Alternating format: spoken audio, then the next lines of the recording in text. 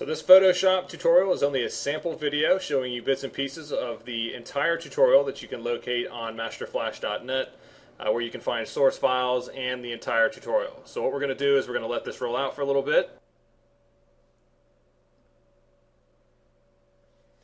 Working with grids. Alright, I'm going to show you how to create somewhat of a 3D grid. Uh, what we've got here is in the source files, I've got some uh, images that you can use if you want to uh, work along with this.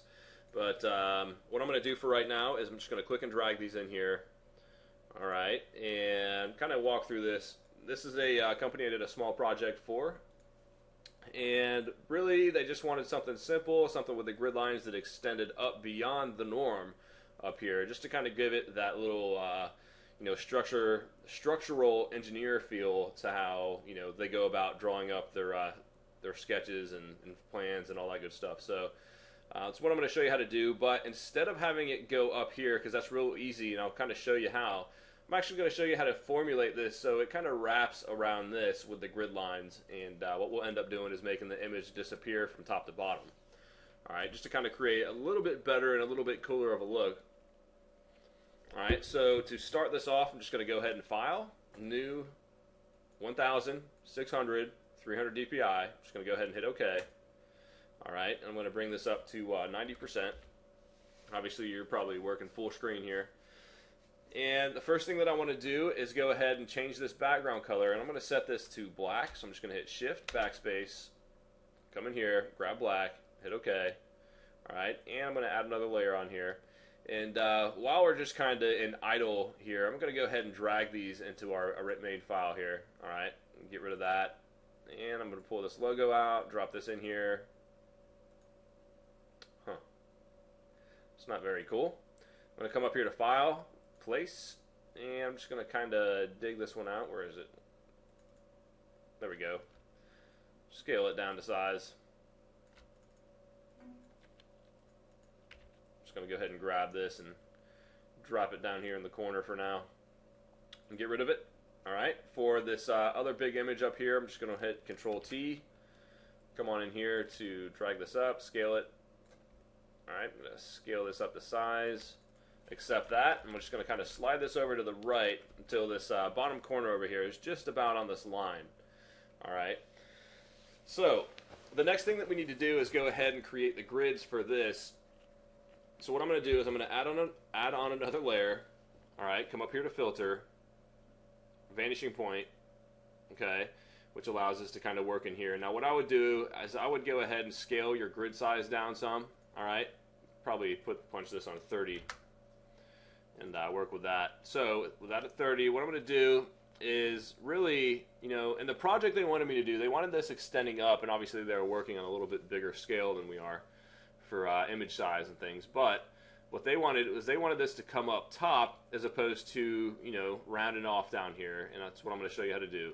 So to start, I'm going to go ahead and grab this. I'm going to click right here, drag this all the way down, Alright, click here and over here. I'm just going to kind of bring this to this corner point over here and we'll play around with fixing that up in a little bit. Alright, so also what I want to do is kind of fill this area, this little dark shaded area, the side of the building, and then the other area also. Alright, so what I'm going to do is I'm going to hit control, put my mouse over this, click and drag. It allows us to you know, create another little fill in here. Alright, so once you're done with that, let it go. And then we need to fill this one up over here as well. So what I'm going to do is I'm just going to click here, drag this out again. And obviously this extends up a little bit, so while this is still selected, you can kind of click and drag this and bring it to scale.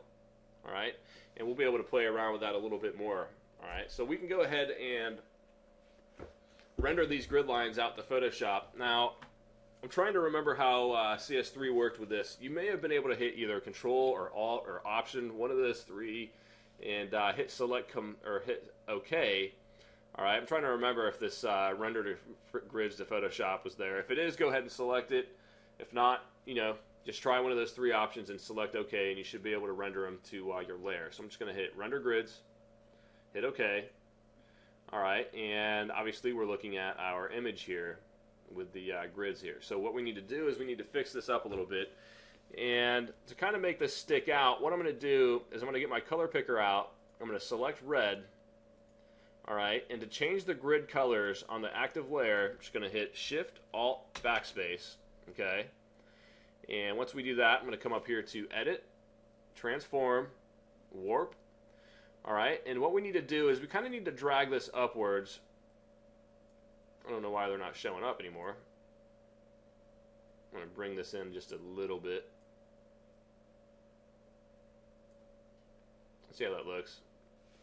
Yeah, I don't know why that disappeared. I'm just going to do that again. Alright, so what I'm going to do is I'm going to drag this downwards. Alright, and I'm going to drag this in.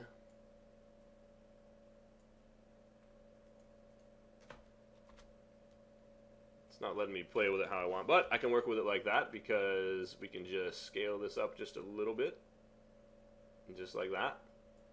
And you've got the kind of bend in here that you need, and what we can do, since it's off to the right over here a little bit, I'm just going to kind of... That is the end of this sample Photoshop tutorial. To view the entire tutorial and get your hands on source files, head towards masterflash.net. Hope you enjoy it.